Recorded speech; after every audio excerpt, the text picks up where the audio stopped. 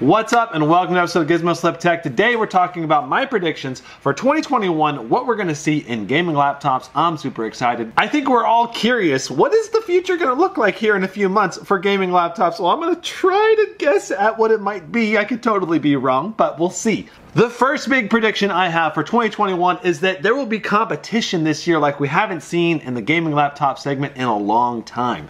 Nvidia has dominated the GPU market inside the laptop segment, and until 2020, Intel has dominated the CPU segment in the gaming laptop market. But as we know, Ryzen CPUs this last year dominated as the best CPU of choice. But the thing about Ryzen laptops in 2020 is that they had to be paired with weaker RTX 2060 GPUs or lower because the bandwidth between the CPU and GPU just wasn't there to go all the way up to like the 2070 and 2080. It limited the GPU's performance.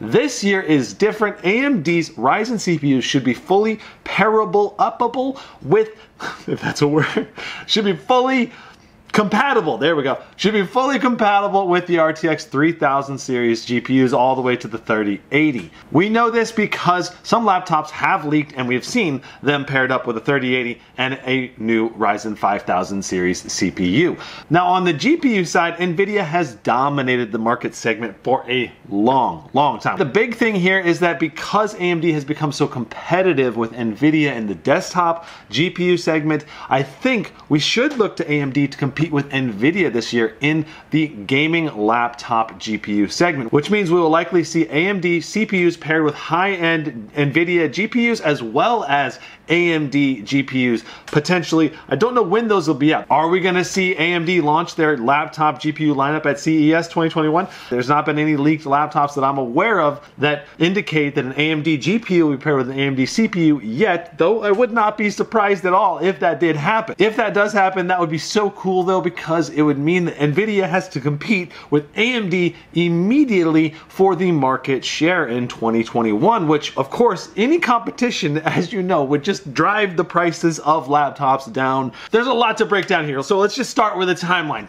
CES 2021. What do I expect? I expect NVIDIA to launch their 3000 series GPUs. We'll have an NVIDIA RTX 3060, 3070, and 3080.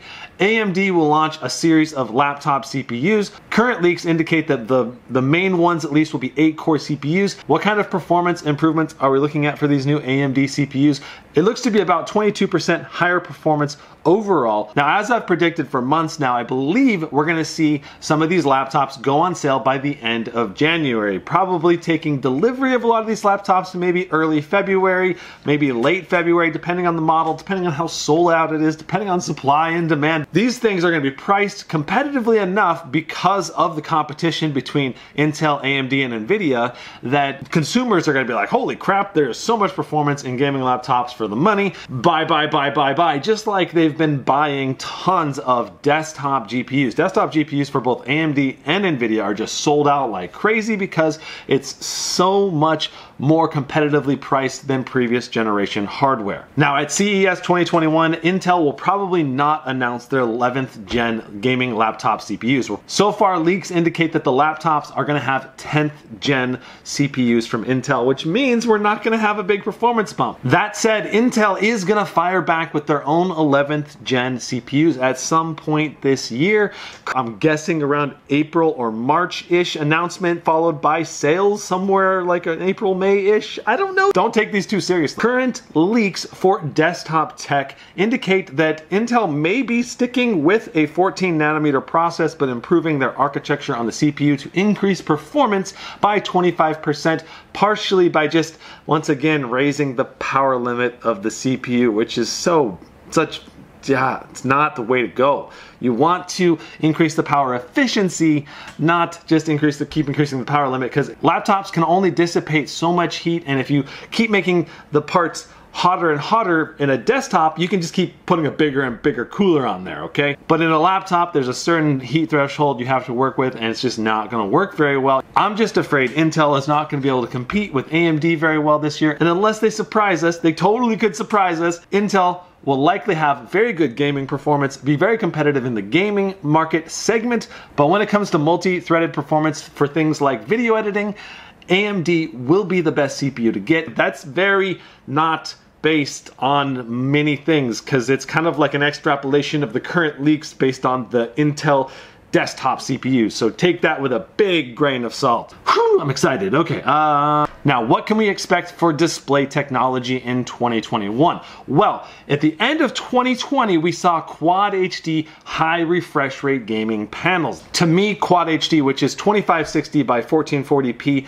is much better detail even on a 15 inch laptop. You can noticeably tell the difference at your typical gaming distance. Now, 4K, you can't really tell much of a difference between 1440p and 4K, in my opinion, at a normal viewing distance. Now, in 2020, the standard good quality display was 144 hertz, 100% sRGB, about 71% Adobe RGB. Adobe RGB is much harder to hit 100%, and it's noticeably different when you have 100% sRGB versus 100% Adobe RGB. Like if the screens are side by side, you're just like, wow, the 100% Adobe RGB display is so much more punchy, so much more colorful. And I think in 2021, we're gonna see a lot more laptops with 100% Adobe RGB and have a high refresh rate. And that's the key difference because a lot of laptops had 100% Adobe RGB, but were not high refresh. So in 2021, expect potentially Quad HD displays, 165 hertz displays, mixed potentially with 100% Adobe RGB.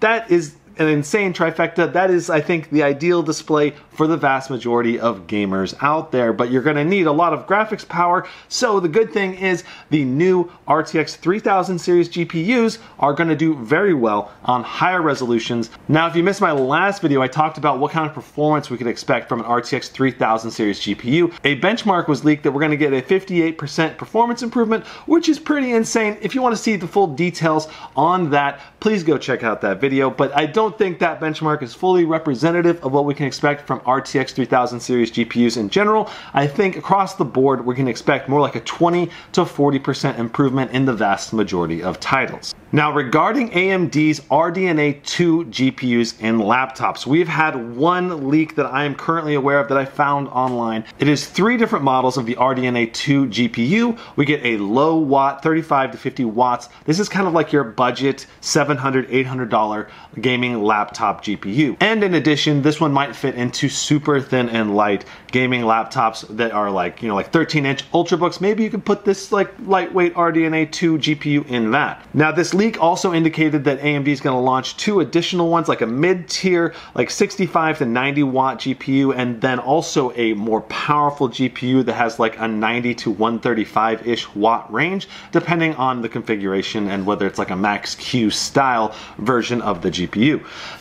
This, I think, is extremely interesting because if there is any credibility to this leak, it is huge because it's going to drive NVIDIA prices down. NVIDIA is going to be uh, really afraid of losing their market share to these new AMD GPU laptops, especially if the AMD GPU laptops are paired with the new Ryzen AMD CPUs, because it's likely that those two paired together are going to have even extra power efficiency because of the new architecture and the way the AMD CPUs and GPUs work work together to increase performance. So because of all of the competition that we're dealing with in 2021, prices should be lower than past years, especially for the ultra high-end hardware. Nvidia and Intel, they're just not gonna be able to be like, yeah, we're gonna charge you $1,000 extra for our higher end GPUs and CPUs because AMD is gonna be releasing their high-end stuff that's gonna be very competitive with Intel and Nvidia. I can't wait to get my hands on them, get some reviews, check out the new tech whenever it comes out. It's gonna be an exciting and fun year for gaming laptop enthusiasts for sure. So if you don't wanna miss out on all the reviews and tech videos coming up, be sure to hit that subscribe button, tap the notification bell, and if you enjoyed this video, smash that like button. I'll see you guys